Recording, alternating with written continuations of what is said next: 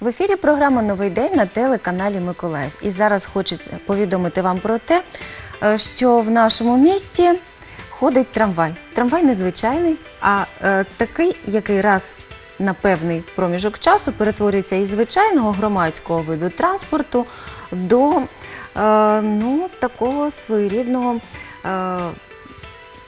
Поетичного осередку. Виправить мене моя гостя. Це Ольга Сквірська, організатор е, літературно-краєзнавчого фестивалю Спаський трамвай. Доброго ранку. Доброго ранку. Рада вас бачити у нашій студії в доброму гуморі і з натхненням в очах. Ви готові до фестивалю? Готовы? Конечно. Завжди готова, так? Всегда готовы, да. Отже, у що перетворюється звичайний міський громадський транспорт? Эм, Трамвай Николаевский э, – это что-то такое очень вдохновляющее. Э, Я уже сделала такой вывод. Хто б міг подумати, так? Э, Да, возможно. Может быть, дело в том, что трамвай часть своего маршрута проходит по очень живописным местам в городе. В частности, первый трамвай идет в сторону яхт-клуба и проходит по Спасскому спуску, одно из самых живописных мест э, в городе.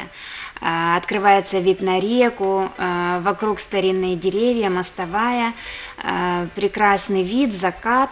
Может быть, поэтому он такой вдохновляющий. И после первого, второго Спасского трамвая э, я сделала вывод, что Повинен бути і третій. на самом деле уже будет пятый в эту субботу, но я просто увидела, что э, участники, авторы вдохновляются нашим фестивалем, вдохновляются трамваем все тем же, и у них появляются новые тексты, в том числе и с упоминанием этого средства передвижения. А ми давайте пригадаємо, як е, відбувався один із попередніх трамваїв, а потім поговоримо про той, який очікується. Добре, давайте подивимося сюжет. Вай стартував з депо номер 1 Учасники арт-прогулянки заходили до електричної карети і на декілька годин ставали мешканцями зовсім іншого світу. Світу, який існує паралельно з буденним, де правлять бал ямби та хореї. Ключі від цього поетичного всесвіту у чарівної хранительки Ольги Сквірської. Поїздка трамваєм як спосіб по-іншому поглянути на рідний Миколаїв. За вікном знайомі місця вулиці Декабристів, Потьомкінська, Спаський узвіз, парк імені Петровського. А в цей час краєзнавець Євгеній Парамонов розповідає учасникам прогулянки цікаві миколаївські історії та легенди. Друга частина заходу літературні читання відбулися в кафе музеї Депо. Саме там лунали нові твори миколаївських поетів, як же відомих, так і тих, хто ще не знайомий широкому загалу. Спеціальною гостею стала поетеса з Одеси Євгенія Красноярова. Арт-прогулянка з депо в депо стала черговим заходом в рамках проєкту Спаський трамвай. Організатори обіцяють, на миколаївців чекає ще багато сюрпризів від цього фестивалю, який вже став літературною візитівкою Миколаєва.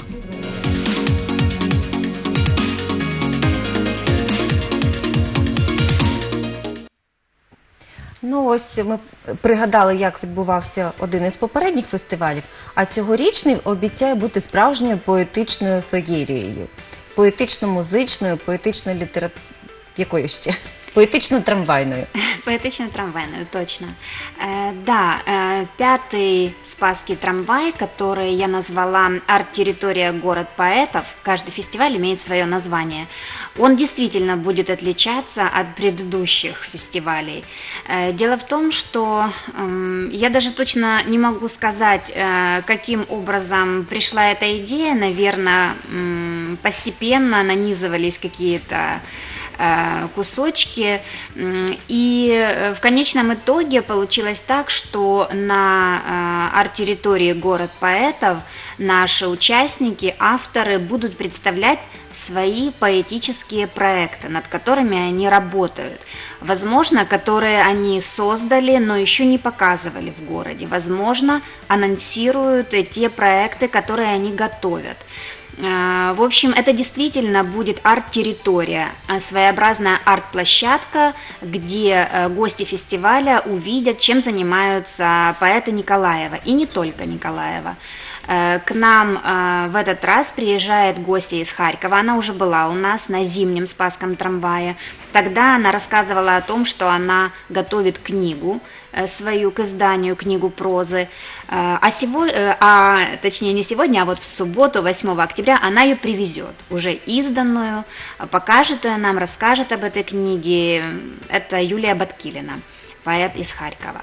А а что касается наших николаевских авторов, то, э, конечно, да, в ходе чтений это будут и традиционные выступления авторов, но и большинство участников, а в этот раз у нас как никогда много, их 13 человек, э, они э, будут презентовать свои проекты. И действительно, это будет и поэзия с музыкой у нас будут музыканты, причем э, разные авторы будут э, выступать с разными музыкантами. У нас будут и анонсы книг, и презентации книг, эм, презентации программ поэтических. То есть действительно будет очень интересно и очень насыщенно. Скажіть, будь ласка, е, осінь це така пора з одного боку ну, дещо сумна, а з іншого боку, вона дуже часто надихає на щось нове, феєричне, незвідане і е, залишається у віках, так як свідчить історія. Цього разу осінь якось впливає на творчість учасників фестивалю. Де- э, оч- э, От у вас осень- був зимовий трамвай, весняний по черзі, так іде? Э, да, Літо пропустили. У нас э, получается, что первый Спасский трамвай был прошлым летом, потом осенью второй, зимой третий, весной был четвертый. И я поняла, что э, четыре раза в год, конечно, это здорово. У каждого времени года свой колорит, который можно использовать. Э, Но часто. Как-то вот, э, ну, Не я не ска- скучити. Э, Да, вот именно, да. И поэтому лето мы пропустили и делаем вот осенний трамвай. Как влияет осень? Очень просто. У нас э, задуман, запланирован, ну это не сюрприз, я уже о нем рассказывала в соцсетях, я скажу сейчас, что я рассматриваю Спасский трамвай не только как поэтический фестиваль или литературно-краеведческий. Почему краеведческий? Потому что экскурсия на трамвае. А, но и как смешение жанров и направлений. У нас вот всегда есть музыка, у нас принимала участие художник-аматор с акварельными открытками, а, у нас было фаер-шоу на первом трамвае, а в этот раз у нас э, наш э, пятый Спасский трамвай будет открывать танец. Это будет коллектив э, Пасадена. А, Хип-хоп, джаз-фанк, хаус, то есть такие направления, которые вроде бы как... э, Не на- зовсім поетичні. На первый взгляд, да, не сочетаются с поэзией, но мне очень хотелось вот разрушить вот этот миф о том, что поэзия это что-то та- такое лиричное, грустное, может быть, А, то есть нет этих границ, хочется их стереть. И эм, осень эм, может нам, конечно, с погодой э, Трошки нам может, завадити. да, помешать, потому что на субботу обещают дожди, а танец запланирован на открытой площадке, чтения будут э, под крышей, а танец на улице. Но мы будем надеяться, что нам повезет.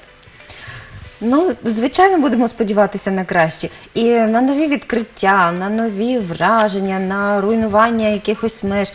Е, Почнеться з екскурсії. Да, в этот раз у нас и экскурсия будет необычная, потому что впервые в истории Спасского трамвая у нас пройдет не только трамвайная экскурсия, но и будет экскурсия по трамвайному депо номер один. Это старинное место, эм, которое имеет свою очень интересную историю, и вот впервые нас пускают на территорию. То есть гости фестиваля увидят канавы, на которых стоят трамваи и ремонтируются, э, и сотрудник э, депо проведет экскурсию по территории. Я уверена, что это будет очень интересно и необычно. Звичайно, таке місце трошки таємниче. Действительно. да. І знову ж таки не тільки буде громадський транспорт, а і щось таке натхненне і привід для м- майбутніх поетичних творів. Да, и я могу э, пригласить горожан назвать время э, всем, кому интересно, э, кто хочет э, побывать в необычном месте на территории трамвайного депо. Подходите, пожалуйста, в эту субботу, 8 октября, в 3 часа э, дня к трамвайному депо номер один. Находится оно по адресу улица Андреева, 17. Э, Там вначале пройдет экскурсия э, по территории депо, а потом у нас будет экскурсия на трамвае. Э, После этого будет переход на нашу локацию для поэтических чтений. Это Букский бульвар 18, арт-клуб «Освод». Э, Я думаю, лучше посмотреть по карте, ориентировочно скажу, что это э, между речь вокзалом и Варваровским мостом, возле самой воды. Очень интересное, необычное место с прекрасным видом. Чтения поэтические начнутся в 5 часов. Пожалуйста, приходите. Гарної вам погоди і натхнення. Спасибо. Дякую вам, приємного продовження дня і доброго ранку.